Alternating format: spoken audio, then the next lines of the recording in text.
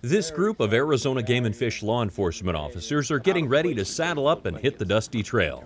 But instead of horses, they're riding something with just a little more horsepower.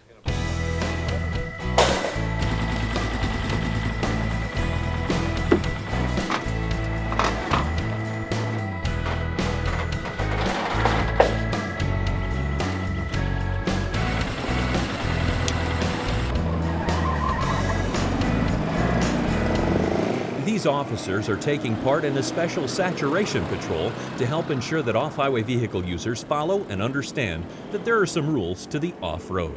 That's part of that program that went into place the 1st of January 2009 to help better manage off highway vehicle use in the state. In the last 12 years, off highway vehicle use has seen an increase of 347%, and we need some, some way to help manage that. The huge growth in off highway vehicle or OHV use in Arizona has outpaced the existing funding to manage that growth, protect wildlife habitat, and help maintain recreational access. So in 2009, a new state law went into effect that requires the annual purchase of a $25 decal for vehicles that are designed primarily for use over unimproved terrain and weigh 1,800 pounds or less. Uh, these bikes were designed to ride off-road, so by law you have to have the OHV decal. That $25 decal that we've talked about, the, the money that comes into the program uh, gets separated out into three organizations. 60% of the money goes to the State Parks Department, 35% comes to the Game and Fish Department, and 5% goes to State Land Department. The 60% uh, is used mainly for uh, a grant program to help increase riding areas, to help uh, fix up and clean up riding areas, as well as to do other various things that have an off-highway vehicle focus to them. The 35% that comes to the Game and Fish Department, of that, most of the money is used to get law enforcement officers on the ground. They spend most of their time uh, riding in an off-highway vehicle or on an ATV, and they're out there uh, interacting with the public, making sure that people are doing the right thing. And, and unfortunately, sometimes that part of education is that someone gets cited for doing something improperly. But most of the time, they're just talking to people and educating them about the laws and about doing things safely. Today, officers are in the area of Cow Creek Road on the back way to Crown King, a popular and challenging off-roading area. They're talking with riders to help keep them safe and legal. I'd be out here with, you know, making my clothes into a tent. I've been out here for like 20 minutes. I'm trying to catch game. I'm a city boy. I don't have any clue what I'm doing out here.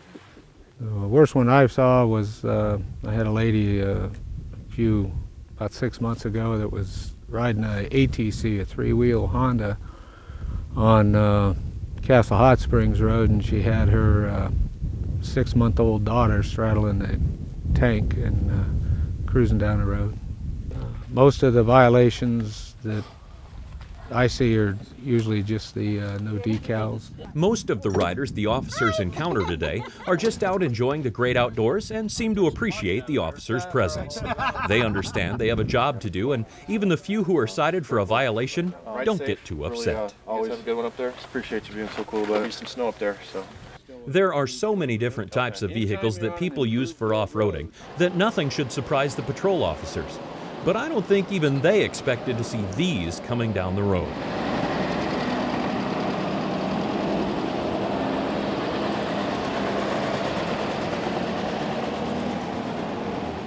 One of the biggest concerns with the huge increase in OHV riders is to make sure they stay on approved roads and trails and not create what we call wildcat trails that can destroy native habitat and foul streams. Contrary to popular belief, you can't just ride anywhere on one of these in the state of Arizona. There are approved riding areas across the state, more than 35 of them. Uh, you can find them on the Game and Fish website or on our, our handout pamphlet, OHV Laws and Places to Ride.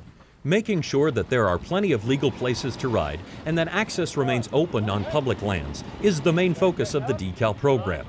Revenues generated from the new OHV decal will be used to help ensure sustainable opportunities and natural resource protection by increasing funding and grant programs that pay for trail maintenance, signage, maps, facility development, habitat damage mitigation, as well as education and enforcement.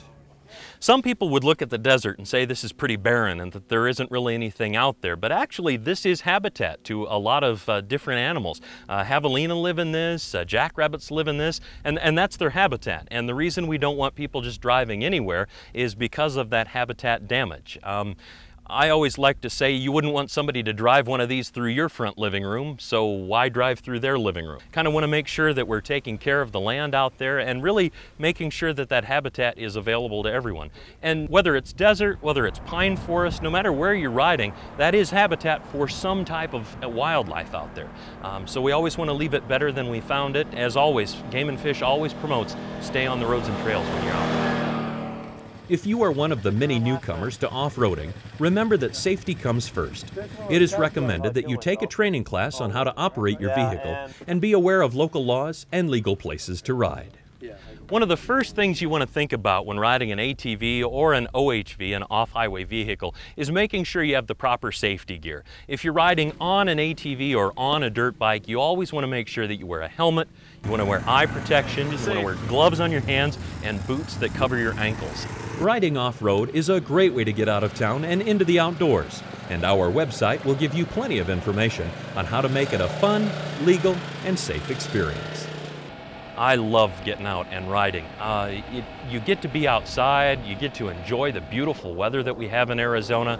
And Arizona is one of those great states where if it's really hot down in Phoenix, you can go up to the Flagstaff area and you can still ride. And when it's really cold and snowy up there, you can come down to the Phoenix area and ride. Uh, we have a beautiful state, there's all kinds of things to see.